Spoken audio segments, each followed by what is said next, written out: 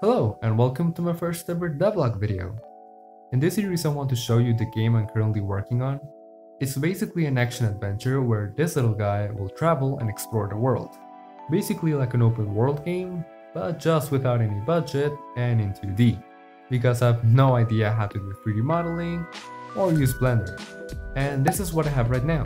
You can see I've made a small map and added an enemy that is actually one of the many iterations from the main character you play as, and had a little fun with the foliage and the overall feel to the scene, with all the particles and post-processing.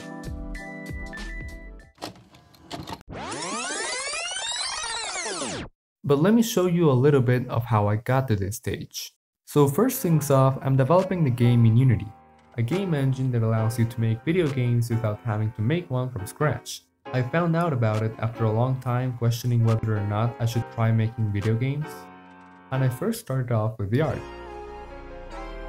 Amazing. That's when I entered the wonderful world of pixel art and started learning it. So I initially wanted to make everything in the game be 16 by 16 pixels, but I figured it would be too small for the enemies and characters, and just scratched that idea. So remember this enemy? Yeah, I've gone through quite a few versions of the player sprite, some of which I use as test subjects. And after countless hours invested into this, I eventually settled with the one you're seeing right now. I also made the walking and running animation. I think it looks kind of decent, and compared to this one, yeah, this is definitely an improvement. Then I worked on the tile set for the scene, and yeah, although I said the characters are not going to be 16 by 16 pixels, the tiles for the ground will. So I brought these tiles to the Unity project and made this little scene. Next on the list was the character movement. At this point, I had also made the controller player script, so the player can now walk around and face different directions. And you can also toggle sprint when you hit the shift key. I have to confess that the rotation of the sprite was surprisingly difficult, not when moving, but when staying idle.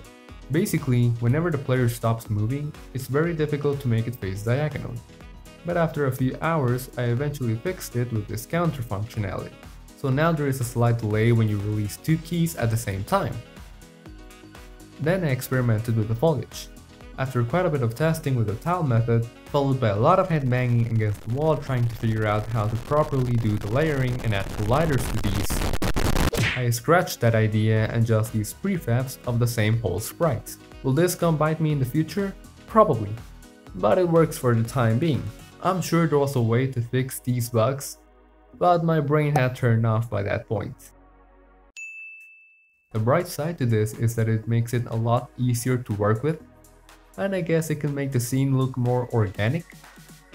I also implemented this transparency feature for the trees using this code, so allow me to explain.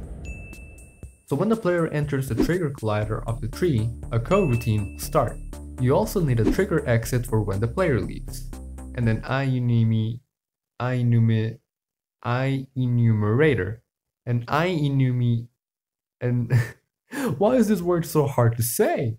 And then, and that thing. What this does is that it takes two values in the parameters, and inside the code block, you get the alpha value of the sprite render variable you declare here, and assign all this to a float variable. Next, you make a for loop to make the transition of the alpha value of the color and instantiate a new color for the sprite to change its opacity, in which we put 4 parameters.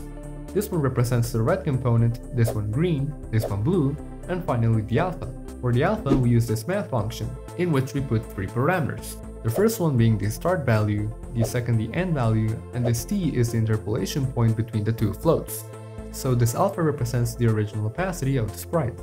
This one represents the opacity we want to get to when the player is behind the tree, and this is the time it takes to do it.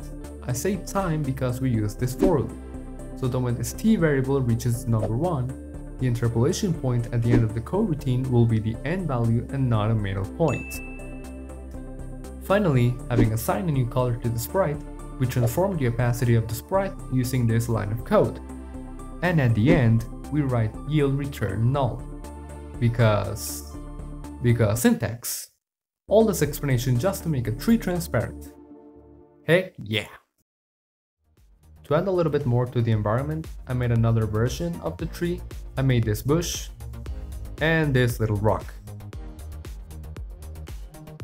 I also added colliders to the trees and the other foliage I made. And now the player can interact just fine with the environment. I also tried making water tiles, and while they look okay, there is a lot of room for improvement. I have to admit I was inspired by the dirt texture used in Stardew Valley, except mine doesn't look as good.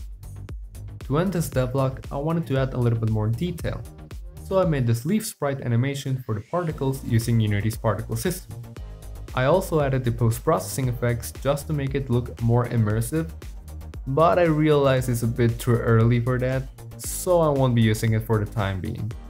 Anyways, I think I'll end this devlog here. If you have any suggestions or feedback, let me know. Next time I think I'll work on the combat and improve the enemy AI, or whatever is on the to-do list. So thanks for watching and I'll see you in the next devlog. Someday. Eventually.